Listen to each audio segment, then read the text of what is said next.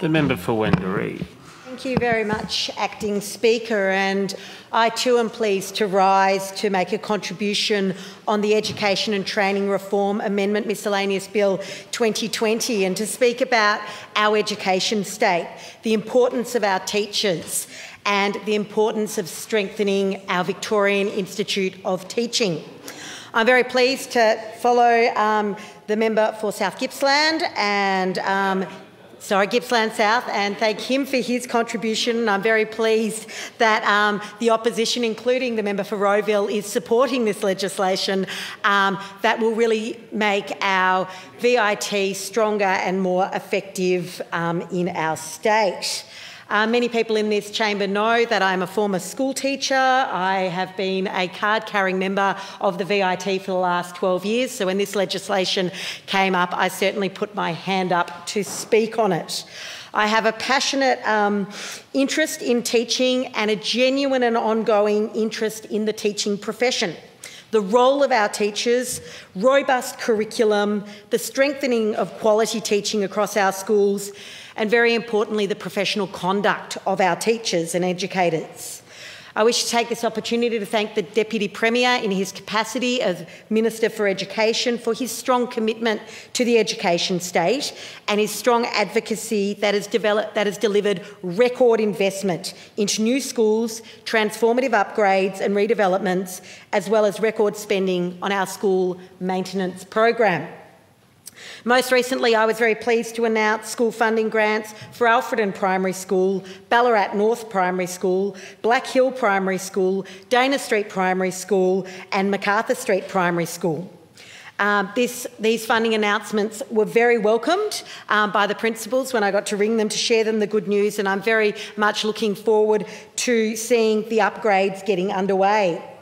We've also invested record amounts at Mount Rowan College, which is a magnificent secondary college in the suburb of Wendouree, um, the Ballarat High School, um, Delacombe Primary School, and I note that the member for Ripon just walked past. We are doing an amazing job at Miners Rest, um, which is a primary school just out of Ballarat in the electorate of Ripon.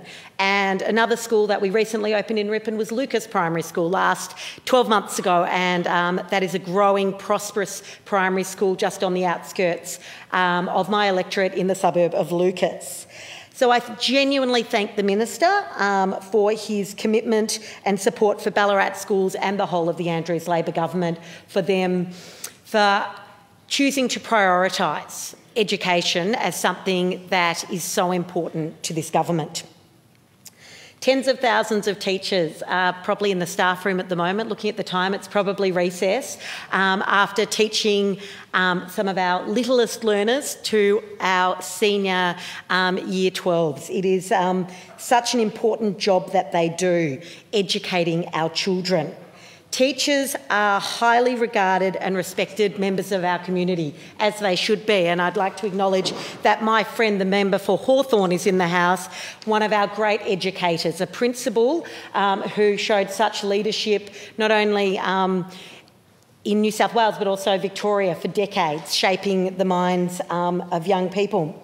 And it's this it's people like the member for Hawthorn who have done such an exceptional job that really encourage us all to be the best teachers that we possibly can be. Every day, parents and carers send their children to school to learn curriculum, but to also develop social skills, to learn about values, to learn about responsibility, respect, and there's a really strong focus at the moment on resilience. These are really important things that we need our children to learn about. And teaching is one of the most significant professions in our society because teachers are actually shaping our future. Throughout history, many of the core elements of the role of the teacher has remained constant. If you look back to ancient civilisations of ancient Greece and ancient Rome, where learning and the quest for knowledge was the foundation of that civilisation. The traditions of Socrates and Plato continue today, with teachers continuing the important role of mentoring, educating and guiding students to develop understanding and building knowledge. However, the role of teaching is also changing, and we need to ensure that our teaching and learning is innovative, engaging, and relevant for the education needs of students to face the challenges of the 21st century and our rapidly changing world. Those who educate our children are developing the minds and shaping the attitudes and values of future generations who will be our future leaders of business, of the public service, of our unions, entrepreneurs, our health workforce, academics, engineers, judges, and those who will be future parents raising their own children.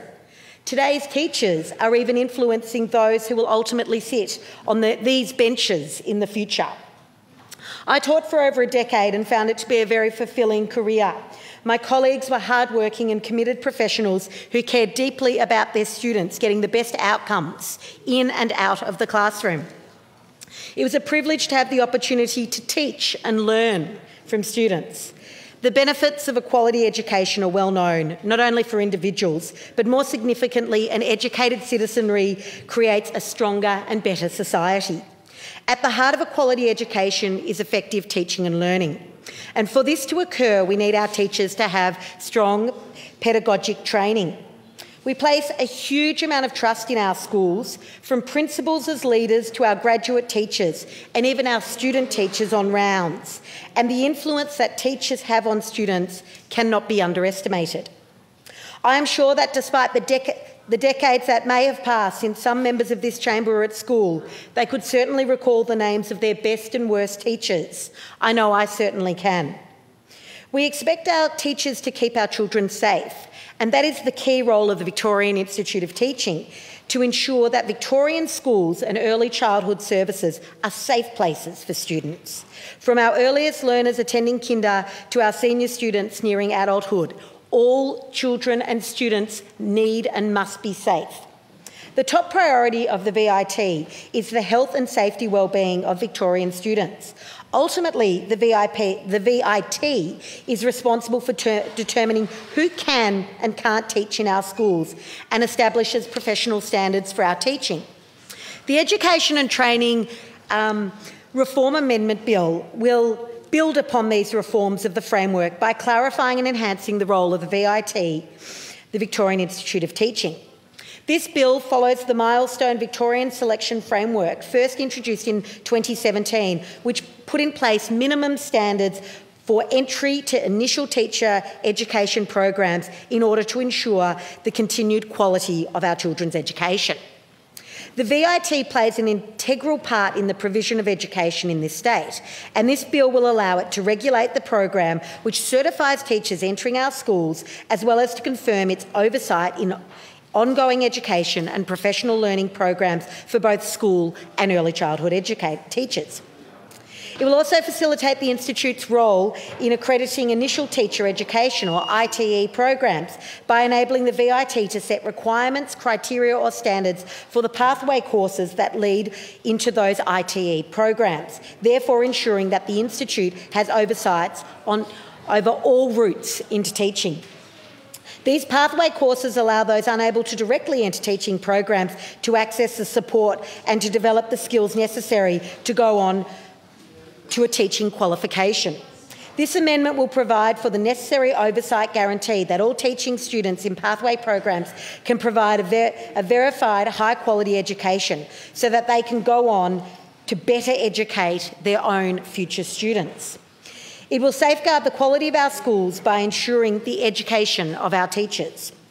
Other additions to this amendment include better facilitating the work of the VIT by clarifying their inquiry and investigation processes, as well as introducing common sense improvements to the regulation of teacher registration. The Institute will be empowered to reinstate expired registration when appropriate over a broader 12-month period, as well as to ensure provisionally registered teachers follow to full registration within a period of six years, with exceptions for special circumstances. The VIT will also be able to delegate responsibilities within the organisation so that these responsibilities can be filled efficiently and effectively. The amendment also further clarifies the power of the minister in relation to the VIT, bringing it in line with other statutory authority. These improvements will allow the Victorian Institute of Teaching to get on with the job of ensuring that prospective teachers are provided with the highest quality training for their profession and that Victoria's classrooms, in turn, are led by qualified and experienced teachers. I wish all the students and teachers um, a very, very successful 2021 and thank you very much.